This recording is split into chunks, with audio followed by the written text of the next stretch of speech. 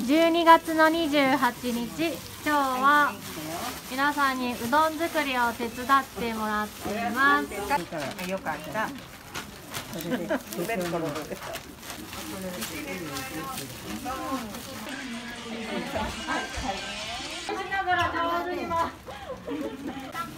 えらいよりえらええように踏め昔うどん屋で働きよったんやな。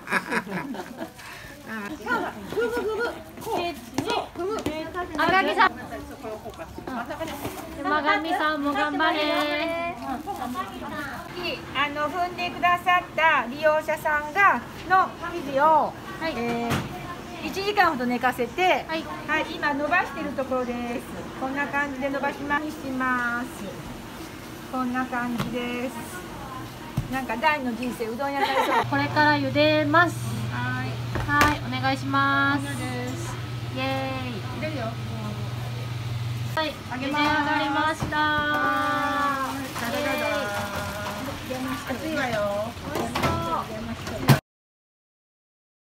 美味しいですよ。あ、美味しい。ありがとうございます。美味しい美味しいうよかったどんです。笑いよったら出てくるよ誰がが。作ったんでしょう。職員さんです。土井さんが作ったよな。土井さんも踏みまありしたよね。がとう。うどんの味？うどんの味じゃない。な。まろやかで深くて。どうようかなよかったよかった。よ手作りは美味しいですよね。美味しいほんまにかったね。美味しい。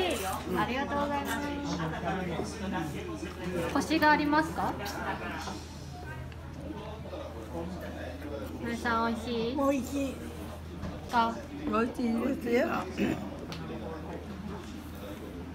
今日晩にご飯が食べれ借りる？哦好的。